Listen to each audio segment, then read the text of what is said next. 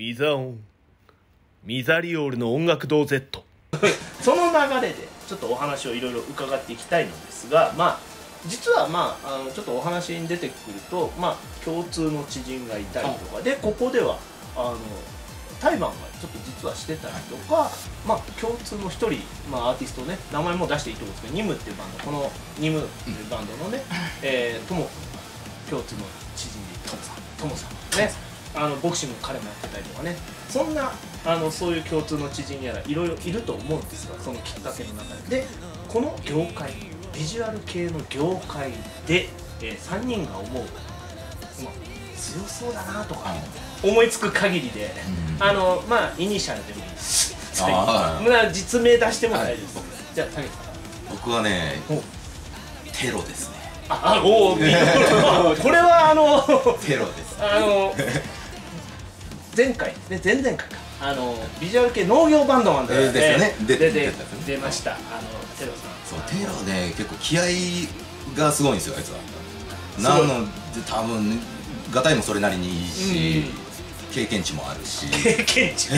あの彼もまああんま公言してないですけどそうですね。そっちの 方そっちの方のがやってるんで。強そうだなとは思ってあます。まさかの前々回のゲストの名前が出てたしかも彼はすごいのはあの桑で畑をリアルに土地を耕したらしいんですよ。トラクターとかあるのに桑でやったっていうから相当な筋力もすごい。マインクラフトやリアルマインクラフトでドラムも力強くてうまいし。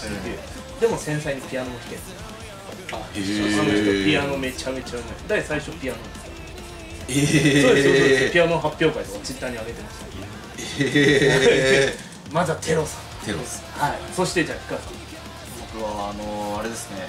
まあ幼い時とかすごい純粋で可愛い子だったんですよ。はい。だからあの本当に初めて多分ビジュアル系の人を見たのがシャイサイコ・ル・シェイムさん。おおサイコ・ル・シェイムはいはいはい。で本当ちっちゃい時に見たんはい。で、俺あれの人たちあの人たちあのー俺戦隊の敵だと思ってたんですよ。なるほど。確かに。格好がねこっちななんか番で組で見たんですよ俺確か。ななんかわかんないですけどなんか見てなんかえなんかまあ鎧みたいな格好してますからね。レンジャーの敵じゃんみたいな思ってなんかその時はやっぱりあの仮面ライダーとか好きだったんで、はい。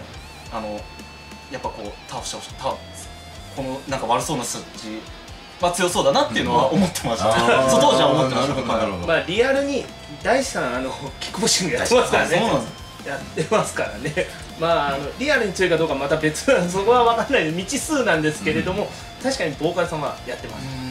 ないしまああの見た目の鎧とかねなんかあの剣持ってたりもしますから世紀末な感じですねなるほどね。マジでマジで俺は思いました。完璧見た目ですよね。その衝撃でした。衝撃で。なるほど、はい。ありがとうございます。さあはるかさんえーとあれですよね。強そう強そうな人ですよね、そうですね。僕考えてたのはスカーレット・バレスのかけるさん。彼は。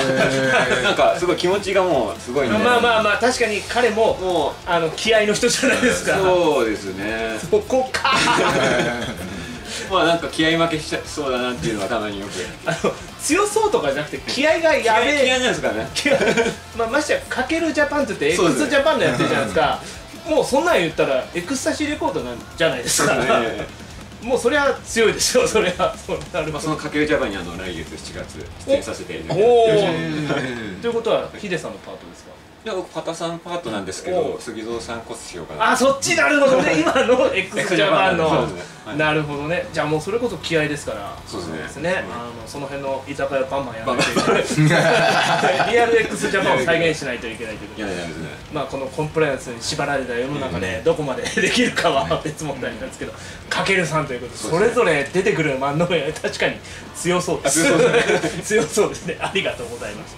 ミザオンさあ続いてなんですけどねちょっとここからあの皆さんせっかく来てるじゃないですか。ということでちょっと今日はね特別にヒカルさんにキックミットを持ってきてもらったんですよで、えーまあキックミットを使って、えー告知キックというのをやっていただきたい。ただ告知するだけじゃ、まあ、ビジュアル系のねまあ、情報番組っていろいろありますしキックするだけだったら面白くないということでしてそれぞれね、えー告知することたくさんあると思いますのでそれをキックで、受けてもらおうということなんですけど、えーここはねちょっと若手というかまだキャリア的にはねグラード結成何年目ですかね。えー、そうえー、ちゃんとビジュアル系でやってからはま4年ですかね。転生してね。そうそれまで。4年うち2年ほどは活動できてない。で すまあそうですね。実質二年。二ね。ということでこの中のキャリアではビジュアル系の若手なんで まあおお受けてもらおうかなーって思う。んなるほど。僕ですか？渋い顔してる。しいやじゃあじゃあじゃあじゃあ今日比較的ラフでうやっぱ攻撃受けそうな光君に受けてもらいながら告知キックのミットまあせっかくミット持ってきてもらったんですし受けてもらうっていう考え方もなんでそのダウンどこ見てる？どこどこを見カメラ目線でも断固拒否しなんでだよ！何個かよ！じゃあやっぱりまあ告知することいっぱいあるし受けながらちょっとやるってはるかさん ですごいすごい。僕一番初心者ですよ。だからこそ受けてその先輩のね受けて。あー。でもこの美しい感じを蹴れないでじゃあじゃあ。それやったら自分がいや。行かせてもらおうかなと思います。それだったら。いや二人方はやっぱりこう今日ちゃんと知ってるしすっぴんの僕が言ってます。いやそういやあのやっぱり格闘家初心者の僕が嫌いたいと思います。いやもうあそうですか。じゃあまあそこまでだったらじゃあ私が受けあそうはじゃあお願いします。い。なんでそこだけ急になんで急に急に空手になるんだよ。えー、ということでこの流れでやっぱりまあ茶番ですけど 茶番ですけど、えー告知キックを受けたいと思います。ビザオンはい、えー、スクリーチイントゥザリンヒカルです。8月11日クラウドサイエンスさんで、えー僕たちスクリーチイントゥザリン6周年とあと活動休止の主催ライブになります、えー、よかったらぜひお越しください。うっす！お願いします。はい。は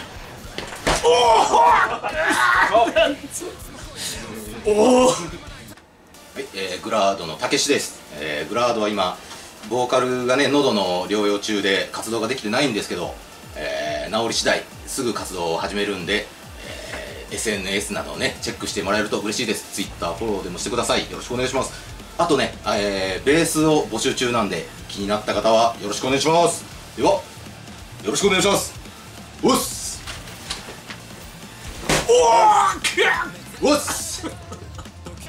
はい、えー、リブードのはるかです。えー、とリブードは、えー、と今サードシングル「女神転生」が今発売中です。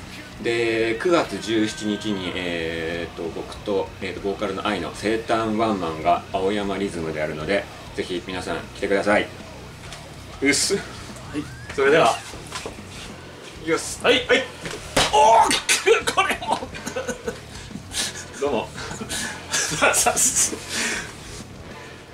はいということでして、えー腕が痛いんですが、えー今週はこのままで終わりたいと思います改めて、えーチャンネル登録、えー高評価よろしくお願いします。ということでして、えー最後はですね、えー、たけしさん、えーよくねライブや、えー、ツイッターでやられてるフライパン曲げ、えーフライパン曲げですね、はい。やらせていただくんですけども、はい。えースクリーチのね、えー活休後のそれぞれ皆さんのご繁栄と発展を祈ってそして、えーブラードはね、えーこれからも活動ね、えーボーカルの活動再開とそしてベース募集ねこれからの活動祈願そして何よりね CD シングル出しました。します。そして青山リズムでのワンマンの成功を祈願してね。あと一つありました。えっ、と7月24日に、えー、とインスタイベントがライカイズさんお。あるんでこちらの方もぜひお越しになってください。ね、そしてもうねコロナこれをね撲滅するためにぜひじゃあ一発この最後にフライパン曲げ。先生よろしくお願いします。じゃあ行きます。おおおおちょっと尺取ってごめんなさいよよいしょそれではミザンミザリオンの音楽堂 Z また来週あーどっちだどっちありがとうございますありがとうございましたいったねよかったよかった これって戻せたりするんです戻戻せるんですけどこお使いこまでなんですよね。ちょっとあのほら汁物入れるとき便利になるから。オムレツ専用フライパン。え毎回やるためホームセンター買いに行ってんですか？マジっすか？でもねこれね安いんですよ。いやいやいやそんな今日フライパン買ったんですよね。えればよかったですえ今日買ったばっかり。半額で買ったんですよ。ありがとうございました